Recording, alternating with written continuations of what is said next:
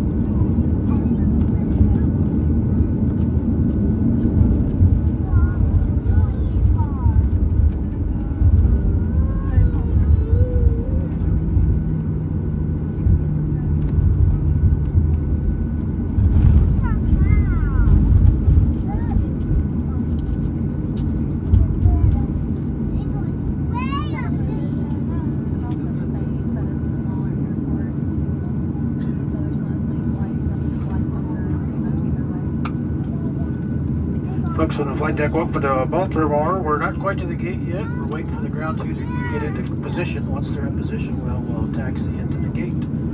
Please stay seated with the seatbelt fastened while that uh, seatbelt sign is on. We are on an